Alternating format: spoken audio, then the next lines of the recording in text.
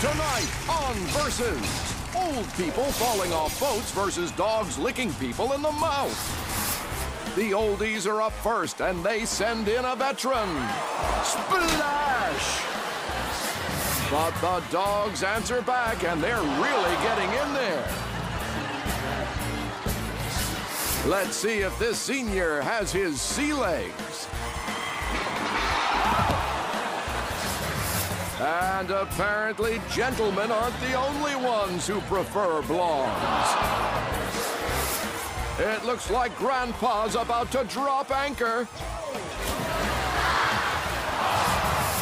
And the dogs really get their last licks in. Come on, oldies, all ashore that's going ashore. Nice, but is it enough? The dogs licking people in the mouth. Join us next week when the dog lickers take on magnetic babies on Versus.